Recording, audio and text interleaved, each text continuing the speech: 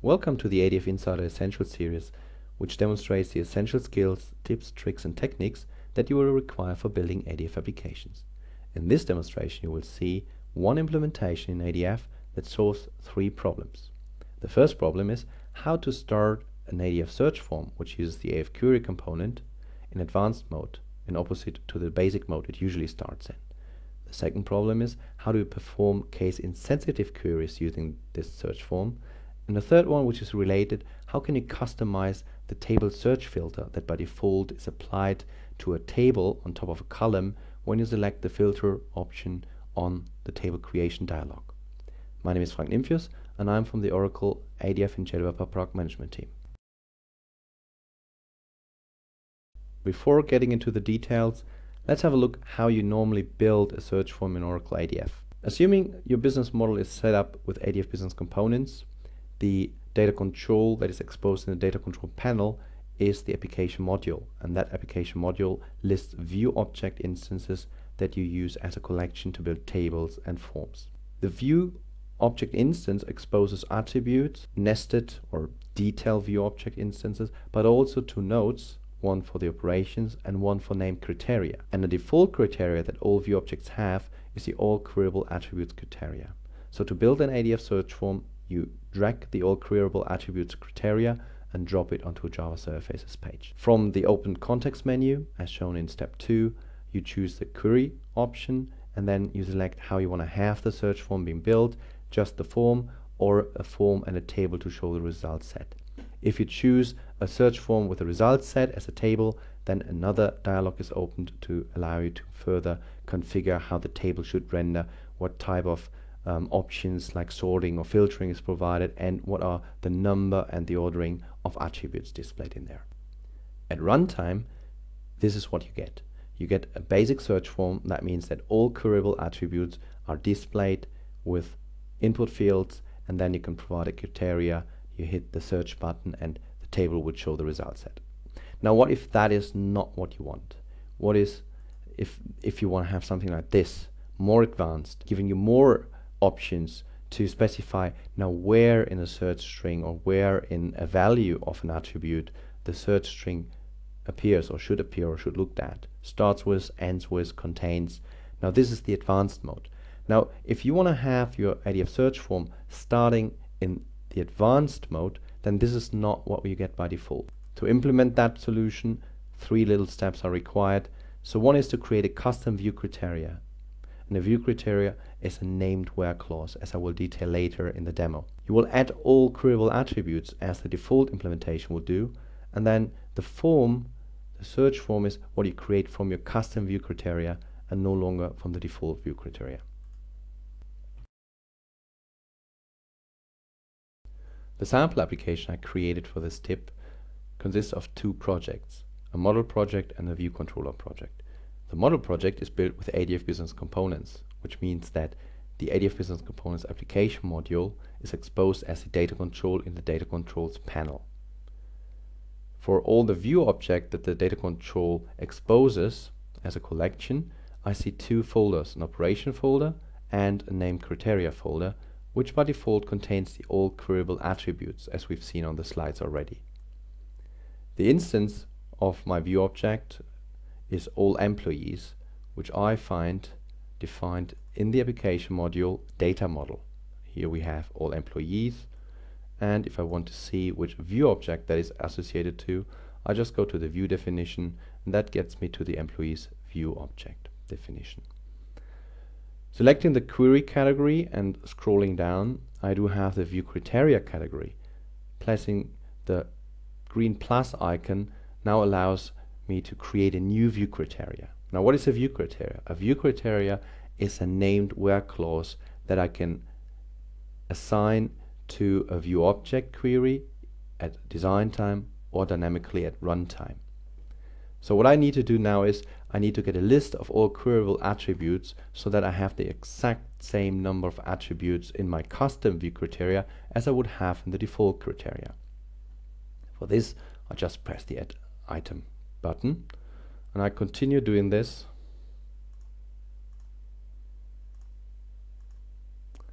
Until I see a possible reference of a view object, which in this case the employee's view in the HR schema has, because I don't want to have this and for that reason now I need to select the attribute. But still I'm continuing just adding all queryable attributes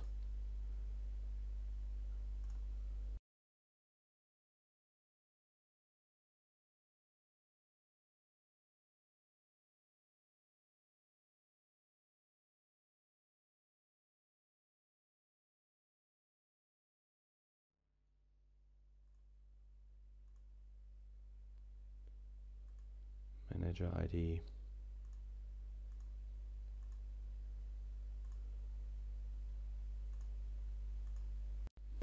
This is my custom definition of all queryable attributes. As I mentioned in the beginning on the slides that we can use the same technique to build case insensitive queries, let me give you that tip first.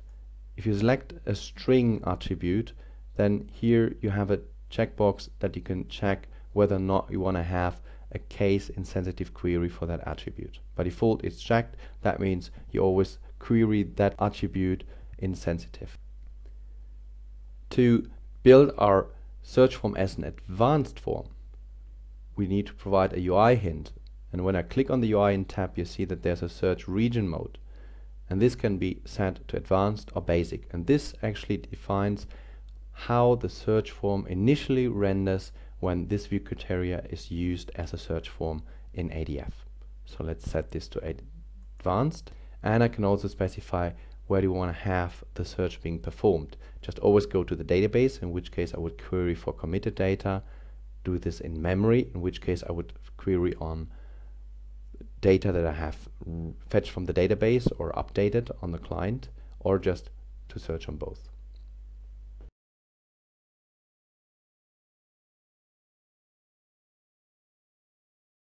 When I refresh the data control panel, go back to my view instance, then my new criteria has been added to the name criteria. To build a search form from the custom view criteria, you select the criteria and just drop it onto the Java Server Faces page. This opens the context menu for you to choose what type of search form you want to build.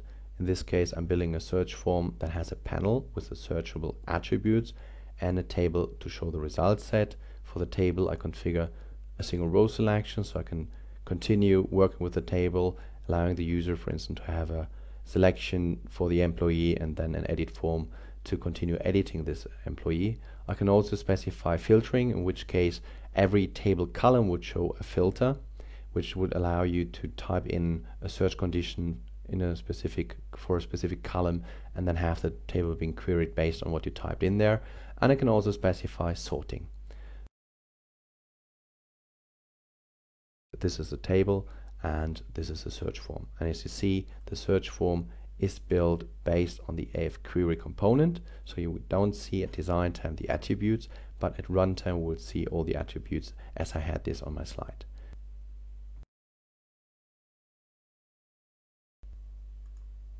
Well, in the demo, I already showed how to build case-insensitive queries, which is a second problem statement I had on my initial slide.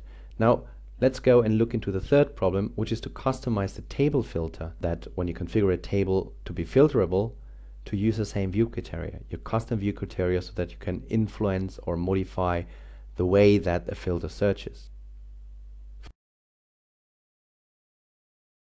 So when you create a table in Oracle ADF, you simply drag a collection onto a page and then from the context menu you choose editable table or read-only table.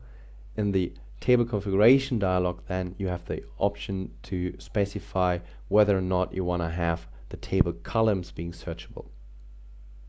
So selecting this option and now JDeveloper creates a table with searchable columns. So I can now provide search conditions for each of the columns, hit enter, and the table will be requeried to show only those records that meets my uh, requirements. So how do I customize it? By default, it will use the all queryable attributes view criteria. Now I want to customize this to point it to one of my view criteria so that I can tailor the filter, for instance, have case insensitive queries or whatever. One information to give here is if I click on the bindings tab, then we have a look at the page definition file. And the page definition file you also find in the application navigator, which is in here, and it's created for every page. Now I have two entries in this binding file when I drag and drop a table and I configure it to be filterable. The first entry is the table binding, as we can see here, but there's another entry in the executable section, which is the all employees query, named after the view object instance. This is a search binding, and the search binding is invoked by the query listener of the table when I hit enter. And there's an attribute called criteria.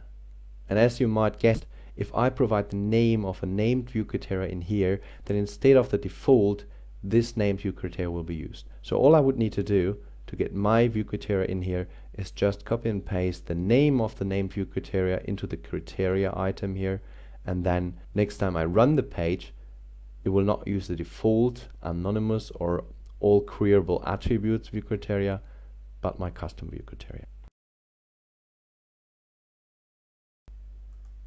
To learn more about Oracle ADF, please visit the Oracle JDeveloper homepage on the Oracle website.